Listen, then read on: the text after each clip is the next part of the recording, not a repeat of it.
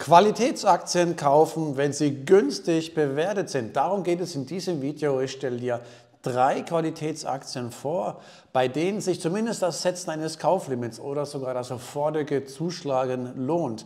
Und ich werde von mindestens zwei der drei Aktien hast du noch nie gehört.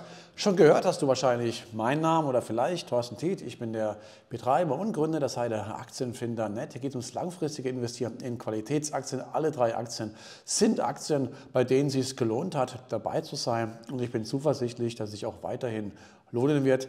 Dennoch an dieser Stelle keine Kauf- und keine Verkaufsempfehlung. Auf los geht's los. Die erste Aktie, von die du noch nie gehört hast hier. Walmart de Mexico, wohl gesagt. Walmart de Mexico, wohl gemerkt. Walmart ist halt der, einer der größten, wenn nicht der größte Einzelhändler in den USA. Marktkapitalisierung von 446 Milliarden Euro. Kann man sich mal auf der Zunge zergehen lassen. Aber es gibt auch Walmart in Mexiko, eine 70-prozentige Tochter von Walmart selbst, die vollumfänglich ein bisschen anders heißen. Sieht man dann hier Walmart Mexiko y Centro, Centroamerika. Denn wir verkaufen auch ein bisschen was in Lateinamerika über Mexiko hinaus, sieht man, wenn man hier in die Regionen geht, 82, 83 Prozent Umsatzanteil in Mexiko und dann noch ein bisschen was anderes in Lateinamerika. Warum könnte es sich lohnen, auf die Tochter zu setzen und nicht auf das US-Dickschiff? Schauen wir doch mal ein bisschen hier die Kennzahlen an, dann können wir bereits eine Idee kriegen, nämlich hier 4% Dividendenrendite im Vergleich zu 1,3% Dividendenrendite bei Walmart. Also die Dividendenrendite fällt deutlich höher aus. Es gibt eigentliche Zahlungen einmal im Jahr, aber die schütten auch immer eine Sonderdividende aus, am selben Tag wie die reguläre. Also ja, theoretisch könnte man sogar sagen, es gibt zwei Dividenden im Jahr, allerdings kommen die am selben Kalendertag. Äh, Ausstellungsquote, man muss ja fair sein und alles berücksichtigen, ist bei Walmart in Mexiko ungefähr dreimal, knapp dreimal so hoch wie bei Walmart. Das heißt, wir haben hier so ein bisschen Ecke Kante genäht, sieht man auch hier schön im Qualitätscheck, da seht ihr auch schön die Sonderdividenden. Und weil die, die, die Ausstellungsquote so hoch ist, ist es halt nicht so, dass wir hier immer zuverlässig Dividendenwachstum haben, kann auch mal ein bisschen nach unten gehen. Was es vielleicht aber auch noch interessant macht, auf die Tochter zu setzen, das ist mehr Wachstum. Das sehen wir auch hier an den Kennzahlen.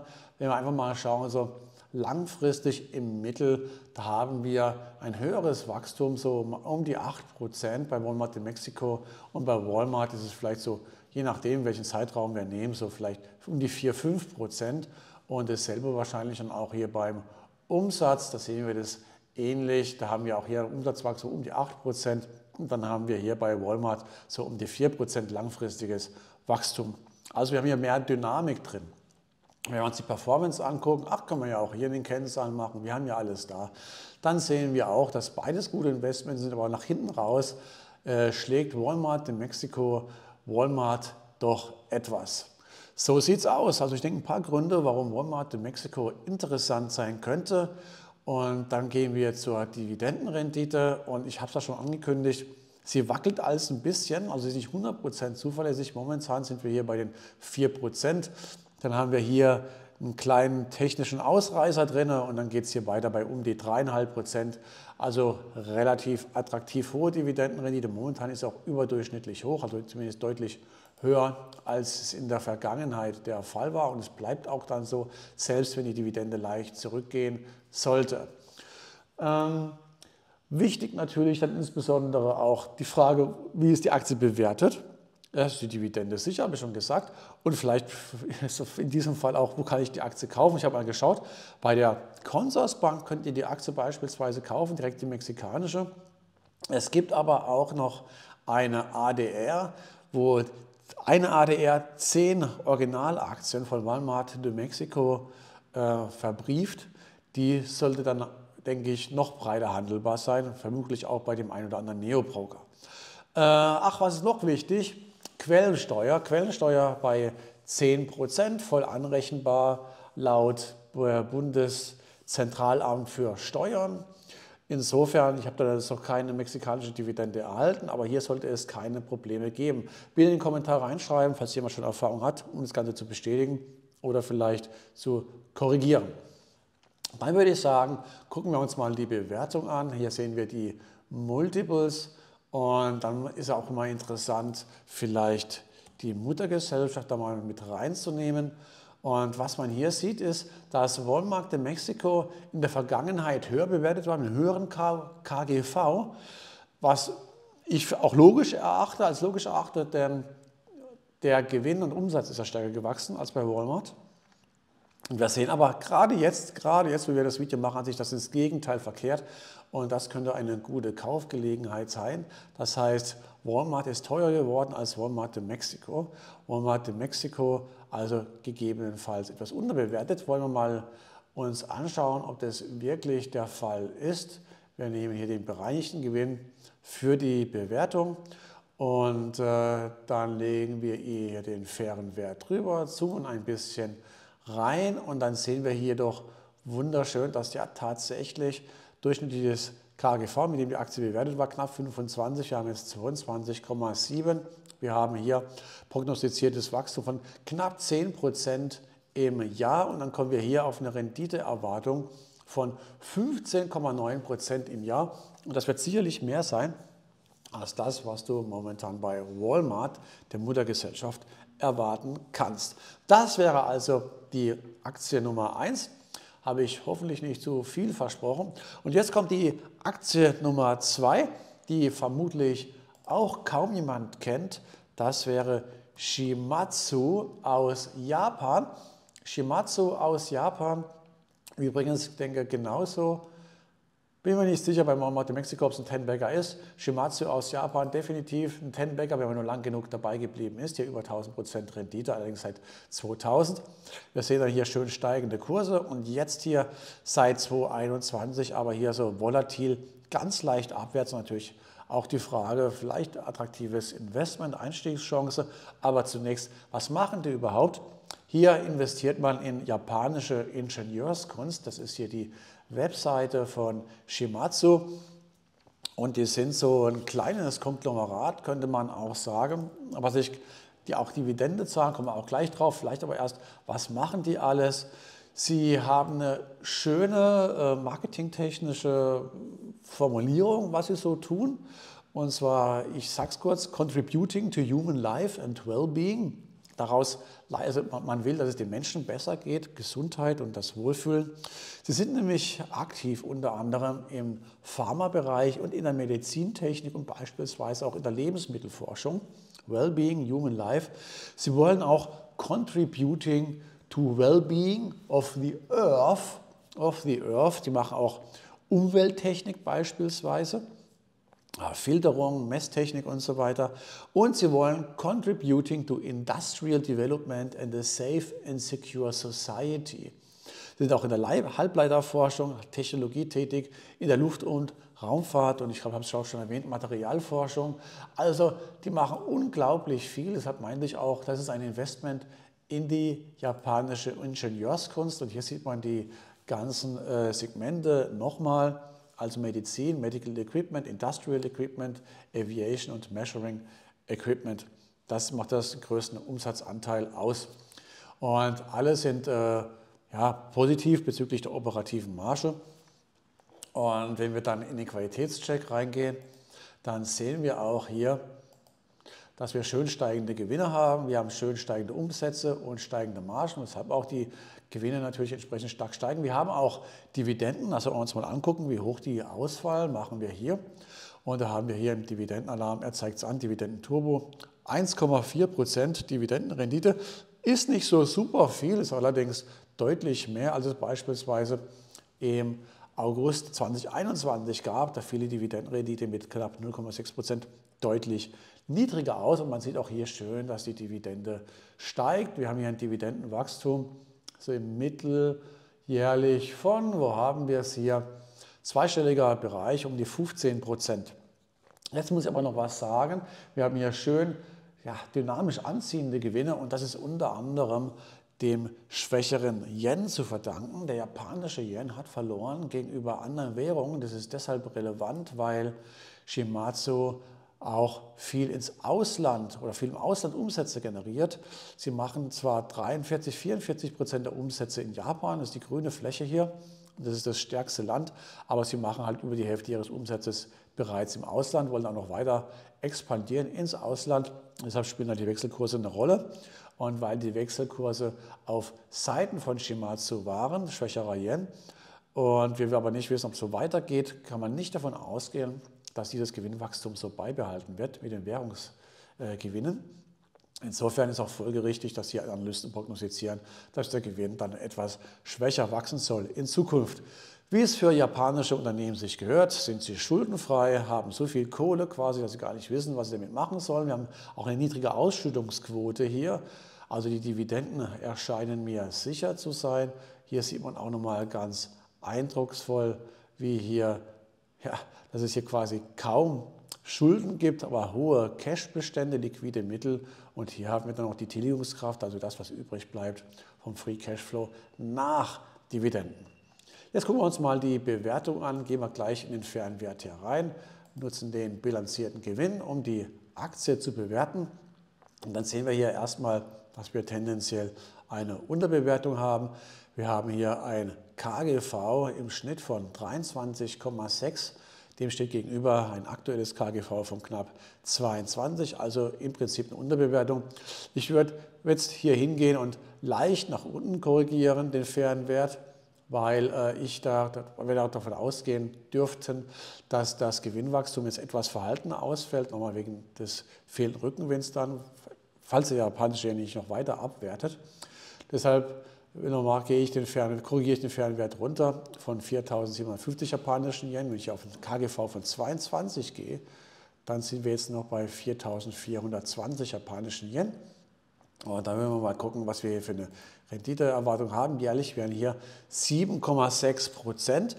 Das ist jetzt äh, deutlich weniger als bei Walmart de Mexico. Und das wäre zum Beispiel jetzt auch eine Möglichkeit, wo man sagen würde, ja, ich könnte mir zum Beispiel vorstellen, hier ein Kauflimit zu setzen, vielleicht hier irgendwo bei um die dreieinhalbtausend japanischen Yen hier. Und da hätte man natürlich eine deutlich höhere Renditeerwartung jährlich von 12,9 Prozent bis 2027. Und dann nach hinten raus wird es niedriger, weil das organische Wachstum des Unternehmens eher niedriger ausfällt, sieht man hier im mittleren einstelligen Bereich. So, das wäre Shimatsu. Ich denke, es ist ein echtes Qualitätsunternehmen, vielleicht relativ unspektakulär, aber äh, dennoch interessant für Diversifikation, je nachdem. Und das nächste Unternehmen, das wird der ein oder andere sicherlich kennen. Eigentlich kennt es jeder, aber vielleicht nicht als Unternehmen. Jetzt geht es nämlich um die Brutstätte der Magnificent Seven oder da, wo sie gehalten werden. Es geht um die Nasdaq. Die Nasdaq, eine der großen Börsen und auch selbst börsennotiert, Marktkapitalisierung von knapp 30 Milliarden Euro. Und auch die Nasdaq ist ein Unternehmen, was, wenn man lang genug dabei ist, ein Ten-Bagger ist. Und äh, ich würde sagen, wir gucken uns kurz die Segmente an. Von denen gibt es nämlich einige. Also wie verdient die Nasdaq ihr Geld? Natürlich über den Wertpapierhandel, da verdienen die Geld. Aber sie haben auch Listinggebühren, also nicht nur derjenige, der tradet, bezahlt, auch diejenigen, die sich listen lassen, die Unternehmen, die dürfen bezahlen. Und übrigens nicht nur in den USA ist die Nasdaq-Börse äh, an der Börse, oder gibt es die Börse der Nasdaq an den USA, sie gibt es auch in den skandinavischen Ländern und beispielsweise im Baltikum. Sie verkaufen unter anderem auch ihre Marktdaten, zum Beispiel Preise, und sie verkaufen auch die Erlaubnis an äh, Vermögensverwalter wie BlackRock, dass die ETFs auflegen dürfen auf den Nasdaq, auf Nasdaq-Indizes. Sie sind auch ein Softwareunternehmen, die Nasdaq, die auch selbst Software anbietet, beispielsweise ja, eigentlich für alles, was diese Unternehmen brauchen, die an der Nasdaq gelistet sind. Beispielsweise für Investor Relations gibt es Software, für Compliance gibt es Software und so weiter. Und diese Software-Sparte, die wird jetzt auch verstärkt, oder sie ist auch schon verstärkt worden durch diverse Übernahmen. 2021 von einem Unternehmen, das heißt Verafin, 2023 von einem Unternehmen, habe ich mal aufgeschrieben, Adenza. Man sieht es dann Ganze auch hier am Goodwill in der Bilanz, der sehr, sehr hoch ausfällt, eine, tendenziell erstmal eine Risikoposition, muss nicht jedem gefallen, fällt relativ hoch aus und ist jetzt noch höher geworden, unter anderem durch die Zukäufe, durch den letzten Zukauf von Adenza für mehrere Milliarden US-Dollar. Man sieht aber insgesamt, dass es doch schön funktioniert. Wir haben hier schönes Wachstum beim Gewinn, das ist der bereinigte Gewinn und auch bei den Dividenden. Der Dividenden gibt es auch. Wie hoch sind die momentan? Liegen hier bei 1,5 Prozent und so ähnlich wie bei Shimatsu. Vor kurzem waren sie noch deutlich niedriger. Hier auch Mitte 2021 lagen sie bei unter einem Prozent, ist immerhin 1,5 Prozent. Und wir haben hier vermutlich auch dynamisches Dividendenwachstum, richtig, so auf die letzten fünf Jahre im Schnitt um 10 Prozent jährlich gestiegen, die Dividende. Wenn wir wieder zurückgehen auf die Fundamentals, dann sehen wir hier schön steigende Margen. Übrigens steigen die Margen bei Walmart in Mexiko auch und werden sie bei Walmart selbst, bei der Mutter, fallen. Und wir haben hier auch schön steigende Margen bei äh, der Nasdaq, begleitet von steigenden Umsätzen. Das ist insoweit alles okay. Den hohen Gutwill habe ich schon erwähnt. Als eher negativ, eher wieder positiv ist der freie Cashflow, der wirklich sehr hoch ausfällt. Der freie Cashflow ist ungefähr so hoch wie der Gewinn. Das heißt, man hat hier die Investitionen, die sind nicht so teuer, wie es bei einigen anderen Unternehmen der Fall ist. Und das ist auch natürlich der Sicherheit zuträglich der Dividende unter anderem. Gut, so viel dazu. Ich denke, es ist ein Qualitätsunternehmen, konnte ich vielleicht rüberbringen und dann gehen wir in die Bewertung rein und die nehmen wir auch anhand des bereinigten Gewinns vor. Und dann gucken wir mal hier Fair Value bereinigt und da gibt es vielleicht eine kleine Ernüchterung erstmal. Also die Aktie ist jetzt äh, nicht unterbewertet, sie ist aber auch nicht so krass überbewertet, wie wir das schon gesehen haben. Nämlich immer wenn es quasi einen Börsenhype gibt, auch dann geht es auch mit dem Aktienkurs nach oben. Hängt unter anderem auch noch an einer Einnahmequelle äh, ab, die ich noch nicht erwähnt habe, nämlich IPOs. Daran verdient die Nasdaq auch. Und wir sehen schon, hier waren auch schon Kurse erreicht von über 70 US-Dollar. Aktuell kostet die Aktie 56 US-Dollar, notiert nahe am fairen Wert. Jetzt geht es erstmal so ein bisschen äh, hier bei dem Geschäftsjahr, werden erstmal kleinere Brötchen gebacken, bevor es dann wieder aufwärts gehen soll. Hier ist ein bisschen mehr Spekulations drin, weil es ja auch damit zu tun hat, eben wie die aktuelle Marktlage, Börsenlage aussieht. Meine Idee wäre hier, auf einen Rücksetzer zu warten, äh, beispielsweise hier bei um die 50 US-Dollar oder tiefer, dann hätten wir nämlich hier schon eine schöne Renditeerwartung so, von hier 10,6 Prozent. Ist ein bisschen Glaskugel, ein bisschen mehr Glaskugel wie bei den anderen beiden Unternehmen. Aber das wäre ein interessantes Investment, tendenziell, weil ihr wisst ja, an der Börse geht es auf und ab und wenn es hier wieder aufgeht, dann geht es auch, also nach, nach oben geht, dann zieht es die Nasdaq meines Erachtens mehr oder weniger automatisch mit. Das heißt, wenn man hier günstig einsteigen kann, die hier, das haben wir jetzt leider verpasst, äh, habe ich da jetzt kein Video gedreht, aber wenn man hier günstig einsteigen kann, dann könnte das auch ein sehr interessantes Investment sein. Kaufenswerte Aktien, ja, das waren jetzt die drei. Kaufenswerte Aktien sind immer interessant, wenn noch mehr kaufenswerte Aktien euch wünscht. Wir haben hier dann bald wieder einen Artikel zu kaufenswerten Aktien. Einmal im Monat gibt es auch bei uns auf dem Blog. Und ihr seht ja hier, wir haben schon einige kaufenswerte Aktien analysiert. So, das soll es mal gewesen sein. Ich hoffe, es war was Interessantes für dich dabei, dass du das ein oder andere Kauflimit vielleicht setzen kannst. Dann vielen Dank fürs Zuschauen und bis zum nächsten Mal. Ciao.